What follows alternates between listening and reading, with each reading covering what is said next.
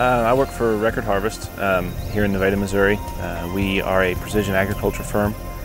We're dealers for Trimble and Ag Leader, Midtech, TeeJet, Raven. Uh, basically, our goal is, as a company is to help producers maximize their, their profits, maximize their efficiency in the field. We offer everything from precision soil sampling services to precision ag equipment. Um, so we are we like to think of ourselves as kind of the whole, the whole picture, the full circle when it comes to precision ag.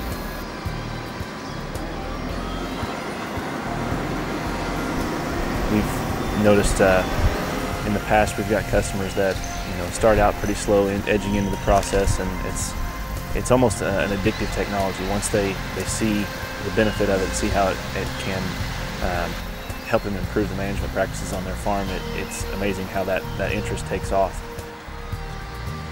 When I was a little boy, dad, my dad was still harvesting corn by hand. And he always commented in later years that any man that could uh, harvest 100 bushel a day was a pretty good man. And we run probably 100 bushel now in a minute, minute and a half.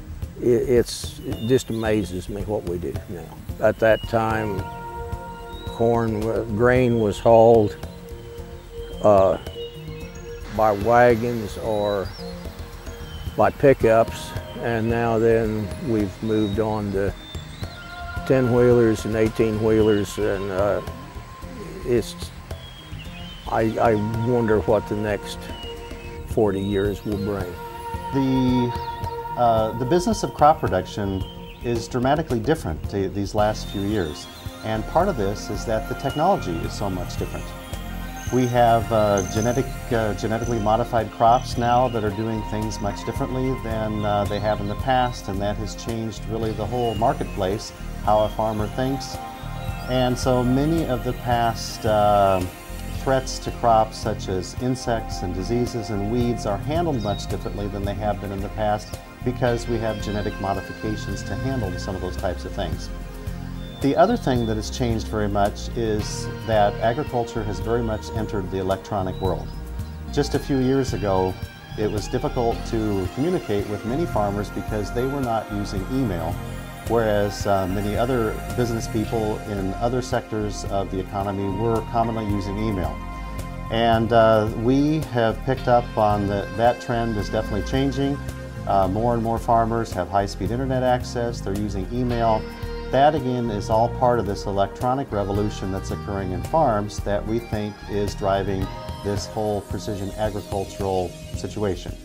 Because if a farmer is not comfortable with email, if they're not comfortable with the system of computer files and that whole thing, they may not be comfortable with taking a card out from a monitor or something in a combine and uh, creating a yield map or something like that. We use Trimble Auto Guidance on uh, everything that we've, everything we do basically, from spraying to fertilizing, disking, combining. Uh, every, every pass that goes across the field we use the auto guidance on.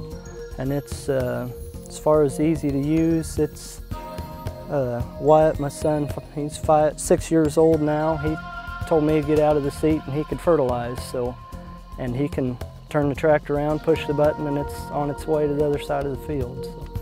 I think in the Midwest today, we're right in the middle of this adoption curve.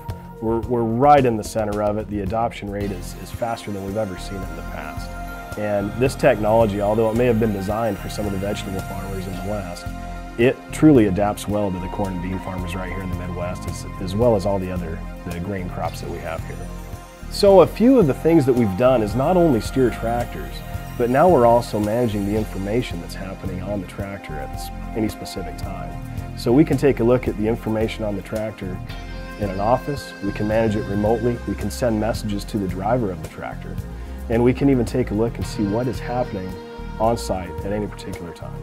If you had to look into a crystal ball and, and really look at where this industry has come in such a short amount of time, the future is uh, uh, let your imagination run wild. But we really feel that, uh, that the data is going to be become crucial, even more so than we've ever imagined.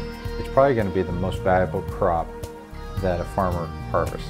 You know, what this GPS technology allows him to do is literally document everything he does. I mean, uh, from the moment he gets out in the field, he can document every variety that he produces, when he placed it in the ground, uh, how much rain it, it, may have got through the season, what, what was you know, uh, uh, done on that field throughout the year. And literally by the time he gets to harvest, you know, he is able then with a yield map uh, through his combine, able to document and compare notes. And literally now through the GPS and computers analyze that in ways he never had the opportunity to before.